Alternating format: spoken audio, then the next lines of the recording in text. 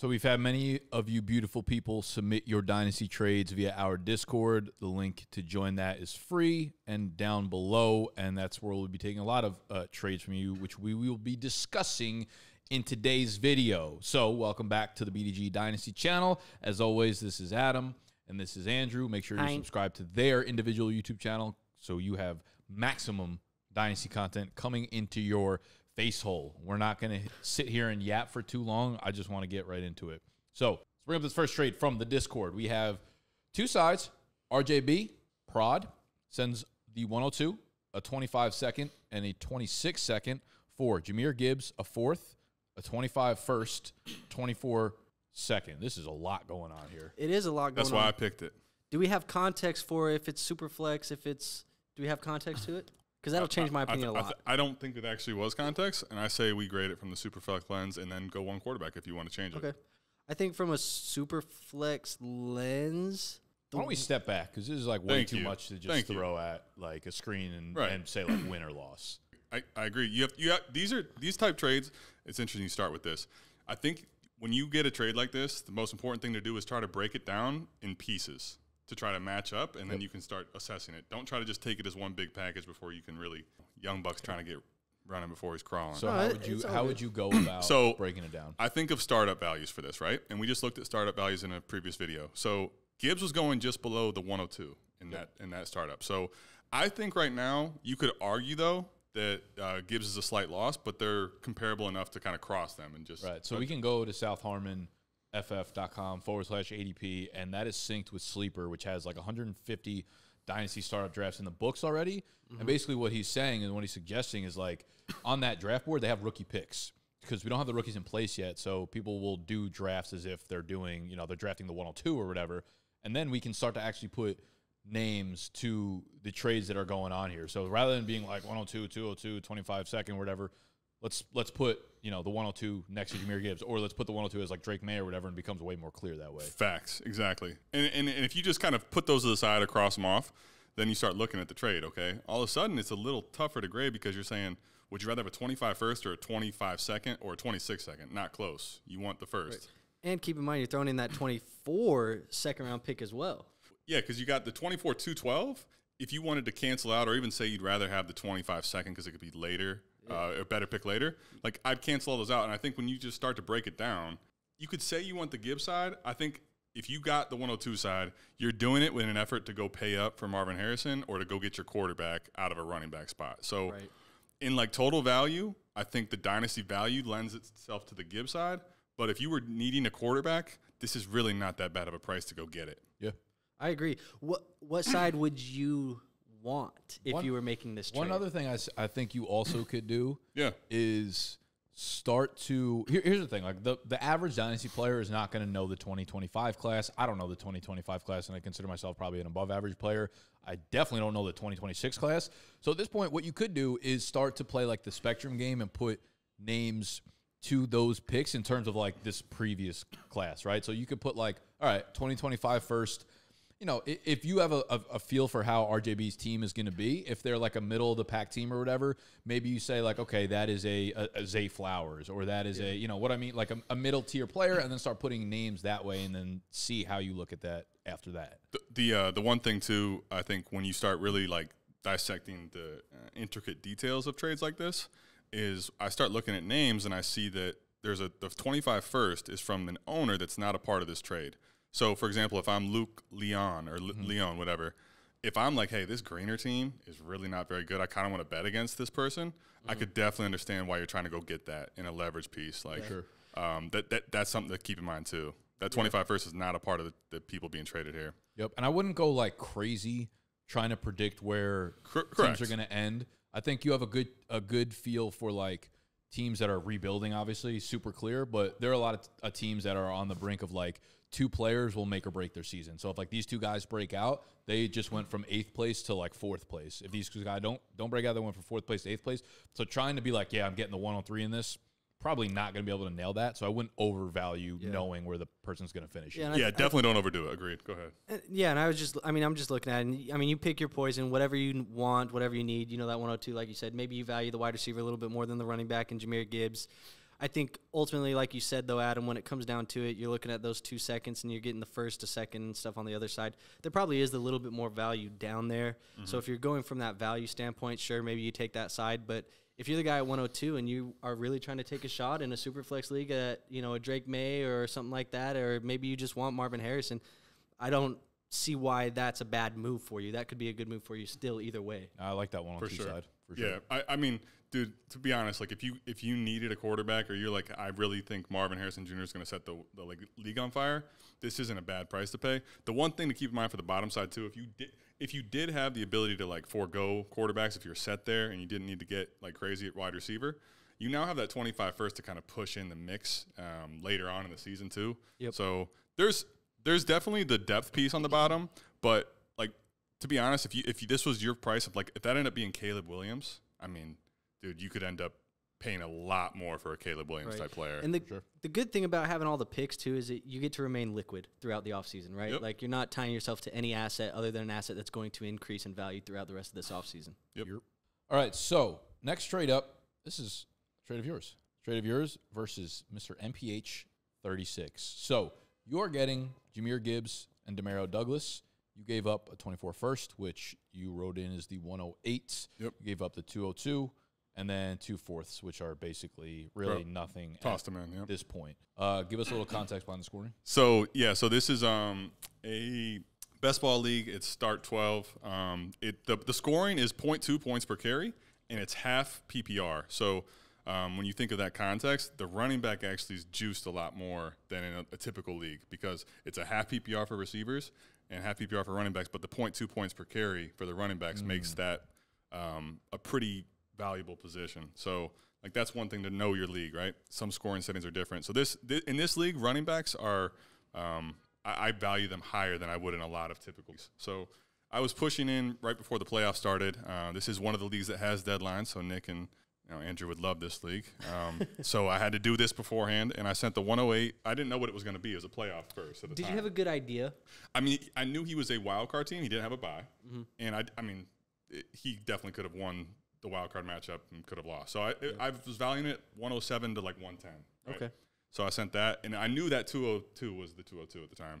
So I was valuing it kind of as uh, too late first, right? Almost as it, as it actually is. I mean, that's how you're viewing it from the start. Yeah. So, I- and I, I know it wasn't like cheap, but um, at the time, I know running backs are hard to acquire in this league.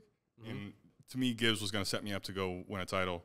I ultimately did not end up doing that, but um, I mean, I, I, still don't hate this trade, honestly, at, the- at the end of the day. No, I mean, I'm looking at it, and, and you saying you know that it wasn't necessarily cheap. I also don't feel like you paid an arm and a leg either. I, I honestly, I'm making the move for Gibbs, same as you did here. If it's my team, Yeah, I think that's super fair, like straight up, because I mean the 108 is not a super heavy price to pay, and if you look back at Gibbs, if you're redrafting last year again right now, Gibbs is what top four? way spots higher than Top 108. five? Yeah, probably Yeah. top five at worst. He definitely inside the top six, even if you like heavily valued receivers. Yep. Like, So I think you're I think you're pretty much winning on that, and then you're paying a little bit of juice because I mean he's ranked above the 108, so the 202 is obviously a little bit extra. Mario Douglas showed that he's like a pretty good player. Sneaky ad for you to throw Douglas in there. I think. Sneaky, sneaky ad. in in a best ball format, especially like having Demario Douglas, Pop Douglas types are is big. You want as many of those. He may do nothing for you for every Yeah. week, but he gives you one week in the playoffs, and that's all you need. Especially So, with the lack of wide receiver talent in New England and the chance at a quarterback upgrade. If they go it's new quarterback, sneaky. yeah, you got Yeah, probably that- like a nice little low end Yeah. wide receiver three or something, something. and I, I think with Gibbs, like I think the reality was that MPH is rebuilding. Um, not that you wouldn't want to have Gibbs on a rebuild, but he's trying to multiply assets. He wasn't going to probably get two firsts, and I thought this was the closest thing I could get to two firsts, and how it ultimately got done. Let me So- ask you, enough. what how- what are your guys' feelings on like fourth round picks being thrown into trades? I'd almost just be like, stop, don't. You can have all of them if you want. I don't. That's give what a I'm saying. Like it almost just like I think people. You think it pollutes the deal? I think people put them in there to make it look like they're giving you more. Where in my mind, I'm like, these are ju- you're just clogging my fucking roster No, I agree, but it actually works though. Like you throw four, five, on or you. fourth and fifth round picks into a deal, you throw them in there, and people are, all of a sudden are like, "Oh, I'm getting all these extra picks." I guess that shit just pisses me off. It, I understand it, but it's it is a tactic that pissing works. me off right now. Do you- do You're you- making me mad. No, you. no, you. It's a lot of anger, hostility. I'm in the middle of this shit. No, I think The only thing I, I tend to agree. I, I I like to be the one that has them and "I gets to throw them in. I tend to bunch. agree. Fucking sending out seven fourth round picks in his trays. But the reason I actually like to have them though is because like uh, in the, in a draft, let's say right, let's say I have these two force, and someone is snuck through into the third round that I don't think should be there. Like sometimes you have those in that range. Someone might take a couple extra force to let you move up. So it's like it's it, I- overall they- the, they feel in, in a trade like this, it does not move the Just a needle. little sprinkle, man. They feel more th- in theory than practice. Like everyone's like, oh, you could trade two fourths for like a third. Like, no, you can't. No one's fucking doing it. Ki- The fourths are almost basically worthless. Though you, I don't know. If you feel strongly about a player, cool. You get your guy. It is What I'm is. saying is like, let's say you're sitting at the 303 and you don't really love anyone on the board. And let's say I'm at the 312. If I added those two force in, you might be like, all right, maybe I'll take the, Yeah. the package, Yeah, right? maybe. and I think I think really the To the point you're making, I get it though. The time you're going to find the most success with these is you're in the rookie draft, somebody's sliding a little bit that somebody's high on, they want to go get their guy. You're like, hey, come take this fourth, I'll take this from you next year. Yeah, it'll be I a get- little bit my better. overall point is like you're looking at this trade and it looks like a lot because the extra fourths are in there, but like this trade is exactly the same in my mind if you just take those fourths out too. Yeah, yeah. no difference. Mentally remove them. I think too, in a trade of this magnitude, where there's firsts and seconds and like premier players, they should not be needle movers. If it's like you know a Tucker Kraft types and these guys that are in third, fourth round range, okay, maybe it's a different story. But in trades of this magnitude, I don't think they should move the needle. But I include them because sometimes they do. I kind of feel like no, like when when it is trades of this magnitude, when there's firsts involved, when there's Jahmyr Gibbs types involved, like the needle movers minimum are like second rounders for me. Agreed. You know what I mean? Like th- those need to be involved in order for me to like get over to the hump and, and probably above that. A little Let me. bit. So then, to that point, let me ask you. Let's say you were entertaining taking that side. What What, side? would those The uh, the 202 and the 108? What would those force need to be removed for? Like, if that was a second, would you be willing to a third, or like what would it need to be to add and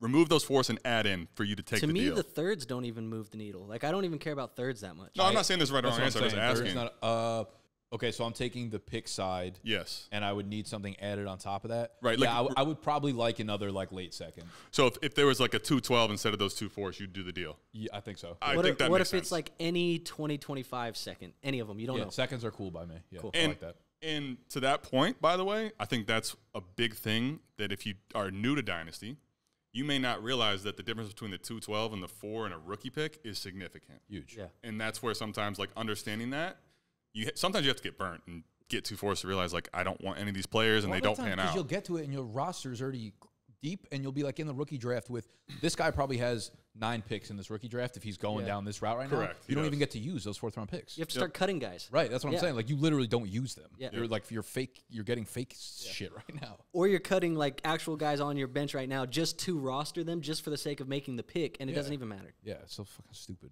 Next trade. All right, we've got. Hank. Ooh, this is a banger right now. Sam Laporta straight up for Trey McBride, a second and a third in 2025. I don't care the format. I don't care the scoring settings. I don't care any of it. There's a single side I want in this trade every single time. It's McBride. I want the Laporta side. Stop the cap. I want the Laporta side. How? Now, I, I would change How? my mind. I would change my mind a little bit if I knew that A. Serrera or whatever his name is was going to finish very low. Like if I knew he was going to be an early second next year, Ace it might change my name. draft picks should have absolutely nothing to do with this. Why?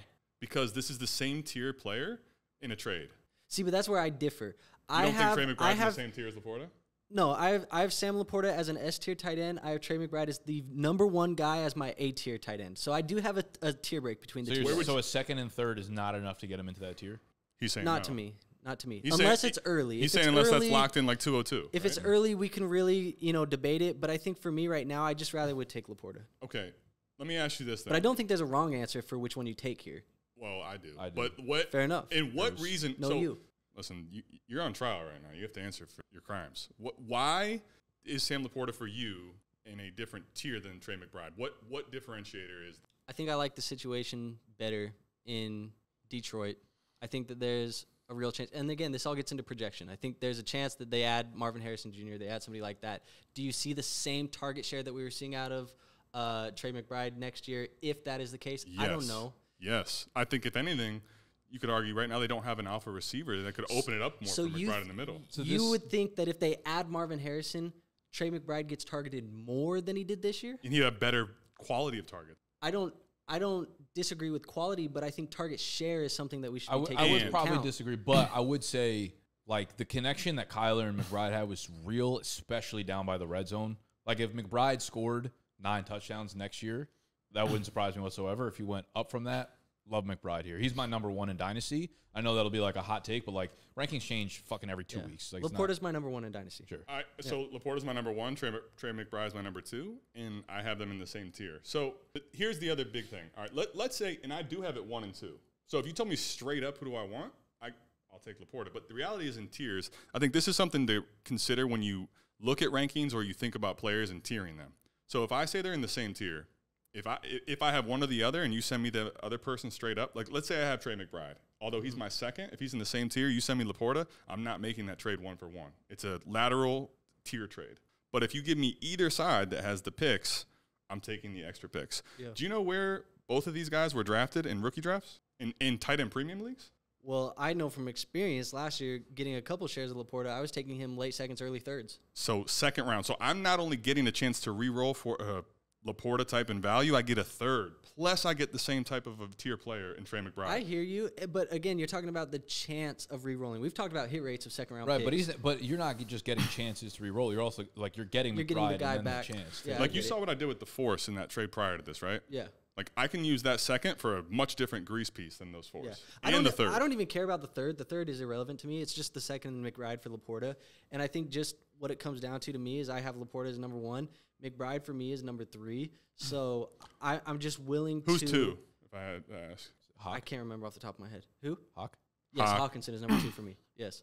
And so. Well, we'll talk about that another day. Yeah, and, and I get under I understand too if you're not like all in on Hawk because of the ACL tear right now, but at the end of the day, like to me, even then, like we were talking about trades and, and picks and stuff like that, like if that's a late second, a late second doesn't necessarily do much to throw me over the top. But he- here's the thing about the trade like this, right?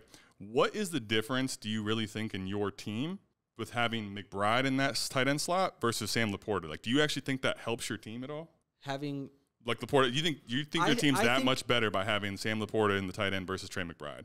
not a crazy amount. Right. Which is why this is a trade where I'm consolidating to probably, if everything hits right, not necessarily net anything. And maybe this is more so me just not valuing a 2025 second. Maybe that's what it is. It's That's not even necessarily the two players. Maybe it's just that I just That's- if I like Laporta enough, it's just not I don't give a shit to That's, come that's off. where it kind of comes back to the last trade where I was like the second rounder is probably where the needle starts moving a little bit, and the fact that I have McBride, I have McBride over Laporta, but like I'd be fine with either of them. They probably feel they're the same to me for the Yeah. most part. So you add the second in, now I'm like without a doubt. if on this McBride's says 2024 205, I probably feel differently. Now, let me I, I ask have you to then wait another year. I don't know where it's at. why do you have to wait another year? It's 2025. So No, you move don't. Why can't I, I mean, move you that don't to somebody have else? to make the pick. You can move it for somebody else. That's the biggest thing. Is I think I look at the value and not necessarily that I have to wait till 2025 to draft. That I could find someone else that wants a second round pick and try to move it to them. So that's why I'll, I'll just in process in a tight end position where they're both like to me supremely talented and could score high end points for my team. Mm-hmm. I want the extra pieces Let me ask by you, a mile. if we if if this was like Trey McBride and Diontae Johnson for Laporta, what do you feel now? Trey McBride again, not close. it's it better, but it's it's not. It's still not an. I don't know. It's, Okay. it's better, but I still don't feel like. Because I think Let's you can move the second and third for a yeah, for a yeah. Diontae I, I hear what you're trying to do. Let's And- rephrase. What would what would you need specifically for you to move to make this trade to go from Laporta down to McBride? What I would that he, extra he needs piece to know be? that that's a mid to early second, though. That what you Yeah, that's really what I want. That's what I want. Tell me what you want. man. Okay. Ma- And and you know what? Part of that and part of what we're talking about is probably just to we have guys in Dynasty that we just rock with, and at the end of the day, sometimes it's gonna cost a little bit more to come off your guy, right? Yeah. Hundred percent. Sure. Uh, yeah, that's a go get your guy. Go get your guy. I get it. I think that's might just be what it is. That's fair. All right. Let's talk about. I mean, Bryce Young's someone's guy out there at this point. This is a ten-team super flex half PPR trade between the dipshit Dugs and Billy Weiser. Dipshit Dugs gets Bryce Young and the 105 for the 103. Yeah, and I, I nominated this trade actually, and I, I wanted to hear your guys' thoughts because we talked about it in the office here the other day. This is before I pulled the screenshot before the Canales hire, but it just felt like Bryce Young's price was so low. And to me, this is insane that you can get a quarterback like Bryce Young for that type of a price tag. So I'm interested to hear your guys' thoughts on this and kind of see the take you have. So I'll go. I'll go this way. Like if, if you go to keeptradecut.com based on redrafting Bryce Young's rookie class, he comes off the board at like the 204 ish right now. Like that's his value. Crazy. Yeah, insane. Mm-hmm. But I there's not a ton that I could argue against to be honest with you. So if you look at it from a market value standpoint, you're looking at the 204 and the 105 for the 103, which is I think is probably about the right price. You might even need to pay up a little bit more because everyone knows by the time you get to your rookie drafts, everyone knows the difference between the 105 and 103. They know who's going where. Yeah. You know at the 103, you're getting one of the top QBs or Marvin Harrison. You know at the 105, you're a break off of that. You know, and you might say like Malik Nabers and Marv, let's grow up there. You know, you're not getting one of those top four guys. So there's a clear tier break there, and that's what you're paying for. Yeah, and I think it comes down to how do you like? Do you think that 204 evaluation on Bryce Young is appropriate? I would say it's probably low, way low. It's it's probably low, but like there's no doubt that you are rolling the dice a little bit here. Yeah. Mm-hmm. Big Is time. is Bryce Young enough to make you go from let's just put names, let's just throw names out there, right? Well, I- Caleb Williams, Marvin Harrison, and then let's say you're looking at 103, maybe Nabers, Jayden Daniels, Drake Maye. Well, I- so I actually think I, I'll just throw this in there real quick. We didn't have context on Derailed necessarily my all whole train. Good. No, go ahead. You can flee. I, no, you're good. You're no, good. I, I'm, I, I can Yeah. wait. Yeah. All right, so I'm, I, I wanted to do the Fuck. exercise because you have Daniels, Nabers, Maye. So then you're forfeiting your pick at that bunch and taking the last available of that bunch, probably at the 105. But you get Bryce Young thrown on top of that. Is that risk worth it in a deal like this to you, especially in a super flex league? Well, the reason I was gonna cut you off, but I'll let you finish, is because in, it, we we have context here. If that says 12 team, I definitely am more on board with what you're saying because it's 10 team. This is where I talk about like understanding your league and dynamics. Bryce Young is a guy that's very polarizing and trending the wrong way, and the, the situation needs a lot of help for him to be a difference maker. There's not a lot of scarcity at the quarterback position actually in Superflex, and so like that 103 and what really moves the needle a lot of times in 10 team leagues isn't necessarily quarterbacks that aren't hammers like Bryce Young. It's that 103 going from 105 to 103 might give me my only chance to get Marvin Harrison Jr., Rome Odunze, or uh, Malik Nabers. And that 105, you may be looking at either taking what's there at quarterback that you don't need, and in 10 team, you can end up having three, four quarterbacks and not have one that actually is a good starter. Yeah, my my uh, my question is to you, I guess. Like ten team league, the top twenty quarterbacks are getting started. Like, how confident are you that Bryce Young's gonna be a top twenty fantasy quarterback this year? Nada. Scale of 1 to 10, I'd Zero. say somewhere between 6 and 7, 6.5. You're Really? you're that confident that he's That gonna he be? can be top 20 this year? Really? You so so you're more confident he's inside the top 20 than out of the top 20. Yeah. Interesting. Yeah. I would. Yeah, like I don't think I. But I know, I know. What I'm, what I'm, makes you say that? I'm I just, just curious. know I, I know I'm out on a limb because a lot of people don't think that way, but I do believe that the market has gotten far too low on Bryce Young. Right. I think the especially now knowing what we know with Dave Canales being hired over there, I do believe that he's shown in the past that he can help quarterbacks develop. I know that their cap space situation is a situation where they can go and add another receiver there or just add some more additional help. And I know that they were pretty banged up on the offensive line last year. You come back, you get a little bit healthier. Year two could look better. Um, so I, and plus everything he put on tape for us there in college. Like we can't discredit that after one year. I know obviously we need to see him do it in the pros, but I'm not willing to write him off at this point right now, just based off of a shitty situation that he was thrown into as a rookie. How, how are Buddy's hands? Bryce Young's hands. No, the coach coming over. Can he catch? Is he gonna like who's who's gonna make plays for Bryce Young? The system can be whatever it is, but That's something that they, can don't go have figure they out. don't have That's what I'm saying. They can go figure that out right now. They, how they, don't have can, a first but round like pick. I, I do think this is a mistake. they mistake. have that- hella cap space. that dynasty people they'll probably add somebody. I do think this is a mistake that dynasty people make is being like, or just in general, fantasy football is like situation.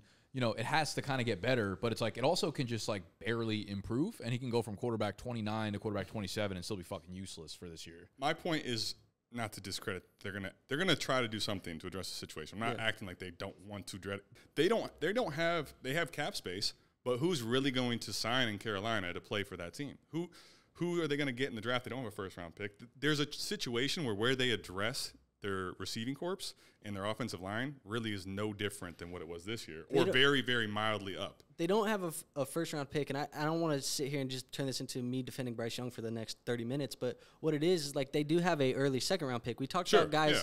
you know, in a video previously where it's like they can get Brian Thomas Jr. in the early second, they can get a Troy Franklin, they can get things like that. So say they add a piece like that, they know they need weapons for Bryce Young. They add a piece like that, and maybe They had a piece like that. Hank. Yeah, so they add a piece like that in the draft. Troy Franklin, Brian Thomas, and maybe they go get a vet like Mike Evans or they get a Tee Higgins or something like that in free agency. All of a sudden, we're looking at this very differently in Carolina. I got a question. Picture this. No, you. No, you. Brian. Hank. Bri- Brian Young. Bryce Young. I'm so disrespectful to him already. I forgot his fucking name. Bryce Young. I tell you that he has the career of Ryan Tannehill. hmm Mm. Right. Not a ton of upside. Okay. A few good years, but a starting quarterback Solid-ish, that yeah. you might be able to use as your QB two for a bunch of time, which I don't think right now is like kind of out of the range of outcomes the way he played in his rookie year. Now, how do you feel about this trade? I still think You're I getting like a the same. 22, 23 year old Ryan Tannehill. Yeah, I mean, I'm still going to get multiple years of production out of him. I think that's what you're wanting out of these picks. So I still get the pick. I just moved back two slots. I can still take a Rome Odunze, a Malik Nabers, a something like that if I, you know, I, I just don't get my first choice of the bunch, but I still get one of them and I get a Bryce Young. I, I'm still, I think I'm still taking that side of the deal. Not necessarily in 10 team, though, because in 10 team, the quarterbacks may not go as high because people don't need quarterbacks. They don't reach for. Like a lot of teams are actually sitting on three quarterbacks. If you just think Right. about how it spreads out, if Right. every team in 10 team had three quarterbacks, that's at 30. Right. So, like, there's not necessarily. Well, the, that that the could need- be the, the part where like you trade for the 105 and then it goes. What uh, if that was Drake Maye? What, what if you had Bryce Young it and goes- Drake Maye? Right, exactly. Like that's a little bit I think I problematic. still. would you- what would you no, think no, about I don't. I don't think. I mean, I could see why you say that's problematic. I still feel the same way, and that's because at that point, I'm buying an asset in Bryce Young. I'm buying an asset in Drake Maye or whoever you want to call it, Jayden Daniels, whatever it is, and this is an asset that I believe is going to improve in value, and so that's the bet that I'm making here. Is not that. I bet that Bryce Young is going to be a goddamn superstar. I'm betting that you. he is going to increase in value more than where he's at right now. And whether it be a month from now, two months from now, a year from now, I'm going to be able to trade Bryce Young or the rookie that I'm taking at 105 for more than I paid today. so you're taking the Bryce Young side. yes. What are you taking? I'm taking the 103. I will say if this is a 12 team, it's a smash on the Bryce Young side, but the 10 team changes it dramatically for me. It, it does change it a lot. I think I ultimately would probably probably lean with the Bryce Young side just because the picks are literally two picks away. right. As soon as you get to like the 106, I'm, I might be out there. 107 out there, but the 105, you are still getting like a premium player with the hopes that like maybe Jayden Daniels goes before you, so you can get you know uh, Marv or Malik. And, and I mean, there's still a scenario I will admit, like I take the 103 here in this format, just knowing the format. But even let's say that the you want you were going to force receiver, like who's to say Brian Thomas and uh, Rome Odunze really are guaranteed to be different players, and Brian Thomas Yeah. couldn't be a We better player than Rome Odunze. Yeah. So Yeah. you could just be getting the extra asset and taking the better side. And another name- I, I just think I would rather have the up tier to receiver Right. here. And another format. name we didn't even throw in is like somebody that we didn't even think of as an option is like Brock Bowers. What if his situation is Sure. fantastic? No, there's all, there's all kinds of scenarios, no doubt. Let's move to another trade. We got a 12 team super flex PPR, but tight end Spicy. Premium. We've it's a, got it's a full tight end premium, so a full two points for that tight Okay, end. Okay, so full point a PPR for running backs, wide receivers, and then two Yep. for tight end premium. Justin Jefferson, Darnell Mooney, a fifth, a fourth, relevant. 2024, 108, and Jalen Hurts. Yeah. Mm. Okay, Spicy. so Yeah. for me, this is extremely easy Which side? because on the Hurts side, Okay. I get it. because I look at the startup values of those two, and Jalen Hurts is probably going above Justin Jefferson. He, and he is you're- an ADP still right now. Yeah. Yeah, Yep. and then you're adding the even if you like Jefferson over it, the 108 for me, like they're Hurts and Jefferson in a startup draft are so fucking close in, in where they're gonna go and what their value is. The 108, Over 108 Darnell trumps Mooney. Darnell Mooney of that fifth, fourth, 100, 100 more fourth round picks Yeah. a million times over. So breaking it down piece by piece, the top two cancel each other out. 108 over those other pieces is so easy. Yeah. This is literally fade the noise and like what Nick was talking about in the trade a couple ago. So like Justin Jefferson's dope, and he, I, if you said your build you could afford to get rid of a quarterback in 12 team to get Justin Jefferson, and you're telling me it's just hurts for Jefferson straight up, and you wanted to make that trade, fine. Straight up. 108, just think 108 or Darnell Mooney a fourth and a fifth. Come on, man. Come on. And I, that's 108 why and 12 team is ridiculously valuable. that's why I like this and I wanted to talk about it because I And think super flex tight end premium because that makes all four positions right. valuable. And, and that's why I like it and why I wanted to talk about it because I think it is exactly what you're saying. Like there's a clear discrepancy right now between how we are publicly viewing Jalen Hurts negatively, right? And what he's actually produced for your fantasy football teams, and really what the range of outcomes is for Jalen Hurts. Like, do any of us foresee Jalen Hurts not being the starter next year? It's impossible. Do any He's of us got see a him two hundred not- fifty million dollar bag. Do we see him not being And a shout out top to Sean Watson though. right? Do we see him not being a top five fantasy tight end next year Go look at off his- the points per game? No. Go look at his game logs. He's even when they were one and six down the stretch, he was a top ten finisher every week but one. Yeah. Like that's his floor. That's when they were playing bad. Yeah, he's And- awesome, and he's locked up for f- the future. And that's why I like it because it, it shows that there are opportunities out here, and and maybe you want to say this is a bad trade, but also I think it shows that there are opportunities when you do have the outside noise, like you said, fade the noise, but there are opportunities to buy into negative narratives or stereotypes that we're seeing. Hell, we just saw that happen with I think Dak Prescott and the Cowboys. Like he just had such a great season. Now everybody's like Dak sucks. We don't want him. It's the same thing. The other thing with like when you talk about dynasty being a stock market, it's so true. Every player between the ages like 23 and 27 always end up getting back to the value point. Wherever you are in that lifespan, they might dip, they might go up, but they're going to get back to where it was at some point or another. No matter how much if you ever actually I I don't know if you guys invest in stocks. Okay, so like really, if you don't touch the stock and it goes up or down, it always ends up getting back to whatever the money is. It's very hard to believe that while you're in the middle of a free fall or sell it while it's going up because it is going to come back down eventually other than like the blue chip stocks, the Mahomes, the Apples, whatever. Yeah. Every 90% of player values, 90% of stocks are going to end up being back to normal, normalized over some point of their career. Yep. And I think the other thing too, when you when you're trading away, like for Maddie uh, JH6, when you have when people are um, eager to acquire your like really highly valuable pieces, if you can feel that they're eager, a lot of times you can get them to overpay for them. And Yep. I almost would guarantee that's what happened here because he was worried about Jalen Hurts. Yeah, Jefferson's also one of those polarizing guys where it's like you feel like he you, anyone will drop the bag for him, you know, and overpay. Yeah, I mean Yep. he's, he's fucking worth it. All right, Andrew. Yes, sir. You snuck one in here. You thought we wasn't going to catch that. I snuck one in so here. So another ten teamer, super flex, full PPR, but a tight end premium. You got JT, James Cook, third and a second. Yeah. So to give you a, a little bit more context about timeline when this was made, because you said you know bring bring a trade you were happy with last year, or, or a trade that you didn't like last year. This was right at that time when Jonathan Taylor was not playing for the Colts. He was out with the ankle injury, and there was a So lot like of first four weeks of the season. yeah, and it, it was like people were like, ah, is JT gonna get the contract extension? Is he gonna come back and play? Blah blah blah. Yep. I took the gamble. I said, let me go buy Jonathan Taylor. And I think it's interesting because at the time I felt like I got away with a highway robbery. Yeah. But then James Cook went out through the year and he looked really good. That second round pick, for context, that ended up being the champion of the league. So it's the 210. 210. 210, It's a sorry, 10 yeah. team. And then that third, it is what it is, right? You just throw it in. Yep. But I, I'm interested to hear your guys' thoughts because as the year progressed, James Cook looked good. How do you feel about the Jonathan Taylor in a late I? I think it's a smash win for you because when I look at I look at running backs in dynasty mm-hmm. as almost outside of the top high end ones that secure the second contract that are built 215 to 220 that have the athleticism, college production, etc.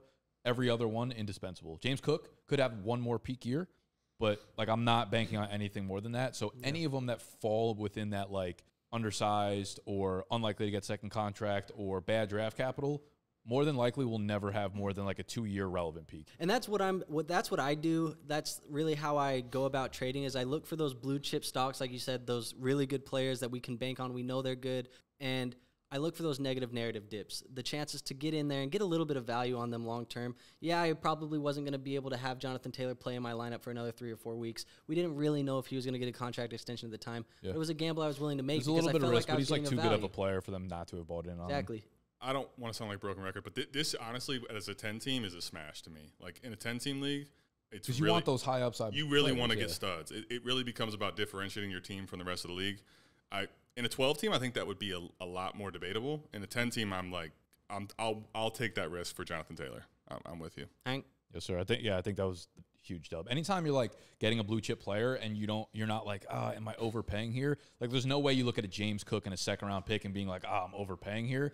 If you're getting the the big time player there, I think it's a dub. Yeah, and I, sure. I knew this is goes back into knowing your league too. Like I knew that manager was a little bit panicky on Jonathan Taylor, and you just have the ability to go in and kind of give him a couple things that he likes and let, come out with some risk. Yeah, you take some risk, but it's worth it in the end. I thought you said you learned from getting over on your league mates. Look, man, still got to get some dubs when you can get them. Uh, let's move to another trade that I thought was kind of interesting, and I think we just did a Matty uh, Matty JH trade, but he's, He's making moves. He's all over the fucking place. His bike. He got DJ Moore. He gave up Jordan Addison and a third. Now, on the surface, really easy to look at this and be like, DJ Moore side killed. I also think this might have been earlier in the year. I don't remember if I wrote down the context for it. So, DJ Moore and Jordan Addison. Now, uh, DJ Moore obviously just had a career year, so it's very easy to look at him. Jordan Addison just had a really, really solid rookie year. So, in a year's time from now, we could be looking at two ships passing in the night. Where DJ Moore, it's like, okay, now he's 28 or whatever, and maybe he had 1,000 yards, 1,100 yards.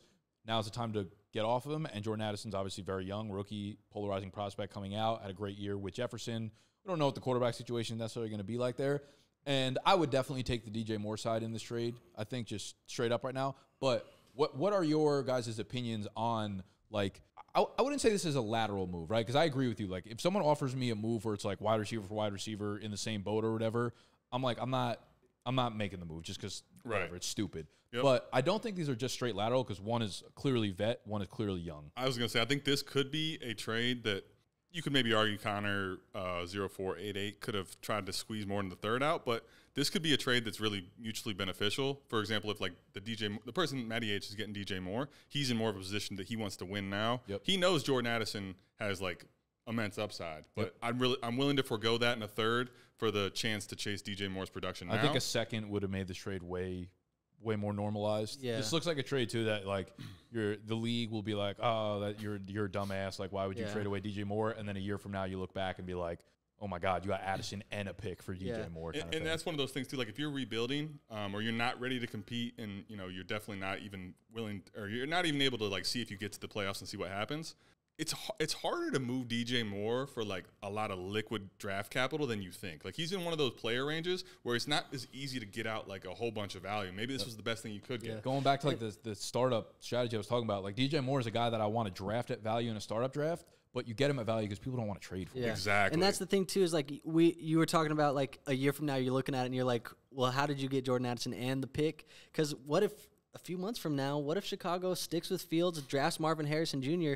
I, I would say that caps the upside of a DJ Moore, and then all of a sudden it, it looks a little bit different too. So I think it is two teams probably going in different directions, beneficial to both people, and I th- I, I like that trade honestly. Yeah, if, if that was the context, that would I would definitely agree. agree. That's a good trade for both All right, sides. I want to rip one last, final, last send off trade here, and make sure if you've been watching up to this point that you go hit the button that looks like this down below. Subscribe to the channel. Go put the D in it, and make sure we are subscribed to both Adam and Andrew's channel. Also linked down below. Throw My some man's- D's on it. My man's No, you- Dylan, speaking of D's, he said, Dynasty trade from today. My team got Monty to pair at running back with ETN.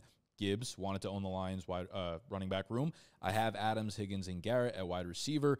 Other team wide receiver two is Chark, full PPR. Would love to know y'all thoughts.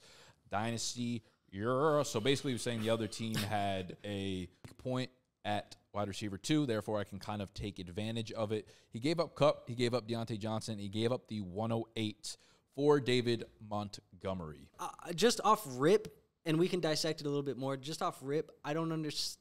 I don't value going and getting. You said he wanted to go get the Lions running back room. I don't understand why you want to go get the handcuff to your Gibbs because I would assume we would all assume that next year we like Gibbs more than we like Monty. Sure. I mean, when you handcuff though, it's the the idea that if Gibbs isn't there, Monty's the workload, right? So the other thing to consider here too is obviously knowing the upcoming draft. You're getting another. You're you're tearing up there from the eight to the five for sure. You're getting mm-hmm. one of those you know top three quarterbacks or Malik or Marvin Harrison something. So I feel good about that. I do not know that I like Monty over Kupp and Diontae. Yeah, So you got he says he has Adams, Higgins, and Garrett Wilson at wide receiver. Like I understand right now wanting to try to move Cooper Kupp and Diontae Johnson. I I just would say while I know what you're doing, it feels a little rich from 108 to 105 personally. That's- and I, and I, and I know there's a, there for me there's a tier break in the 24 class at 105 to 108, but I don't know that I would have. This is the way I would have liked to um ex- basically got off of Cooper Kupp and Diontae. Yeah. It feels light. I it, and that's exactly how I feel with it too. It almost feels like do you do you almost feel like we could have probably got this deal done if you take Diontae out and just put a little bit of a worse wide receiver in there? You feel like that we could still get that deal done? I mean, What, which sides do you guys like here? For me, Yeah, you. I think I'm going with the 108 Diontae Cooper Kupp side. Can I say neither? Neither. you- no, I, These assets aren't the most enticing assets. It- it's a little tough because there's part of me that's still like I'm about to get another good year at a Kupp. You know, there's part of me, and it's almost like if that happens, everything is worth it. You ran on away. that side. You know what I mean? Even if he finishes like the wide receiver like 11, I still feel great about that side because I, I don't know what Demont's upside is in full PPR, and that league is full PPR. So for me, I, I feel like I would have needed to tear up in, in the running back spot. The one thing I will say about this, I don't. I was. I read this a couple times. I don't see the context. If this is a 12 team league, the one thing I can understand about going to get Montgomery in that 105, if you look at it from a lens of the three quarterbacks that we think, as well as Nabers and Marvin Harrison Jr. having all those picks, we talked about startups. If all of those top five picks have a chance to be like almost second round picks, early thirds, and you have a chance to get a quarterback there, I, I I would understand doing it. It just it just the problem is trading Cooper Kupp and Diontae Johnson. Like I know right now they're basically uh, depressed assets, and they're eventually going to pick back up some steam as the season comes around. It just feels like the wrong time to trade away Kupp and Johnson. Right? Johnson. Exactly. Is it? Yeah. You they're assets you'd want to hold until they get a little more steam and value. Right. Yeah, I mean, yeah. Uh, ultimately, I don't, I don't think it's the worst trade, but I would lean with the Kupp Diontae 108 Yep. side. Yep. Same. Yeah, but a lot of uh, a lot of moving parts here, which I think Yeah. will even itself out by the time the season starts. Probably. Agreed. If, if that ends up not being a quarterback, for example, if that's a Nabers or a receiver, and then it ends up being, you know, you could get Brian Thomas. Or the, the difference in receiver there may feel good when you draft it, but it may end up not being anything at all. Yeah. Yeah. They're all dart throws, right? There it is. There it is. Hank. All right, so we're probably going to do one of these episodes every few weeks. So make sure you are tapped into the BDGE Discord. Again, link down below. Free to get in there, free to yap away with us. Uh, we'll be hanging out in there, and them two will be hanging out on their YouTube channel. So make sure you subscribe. Link down below. Yes, All sir. that shit. Yell at us. Tell us what you like, didn't like of all the videos, man. Let us give us the feedback. Hundred percent. Because these first four videos we did, this will be the fourth of the group podcast setting. Uh, we filmed it all in one day, so we just ripped them all at one time. We did not wait for feedback, so the first real feedback will come from you guys as these kind of lay out over the first couple weeks. Let us know what you liked, what you didn't like, what topics you want us to discover, discover, and, and talk about conversationally, all that kind of stuff. But you'll get a bunch of individual content as well. And again, if you're watching on Right. Redraft, go subscribe to the Dynasty channel because that shit will be gone soon. Level up. Hang. Darling.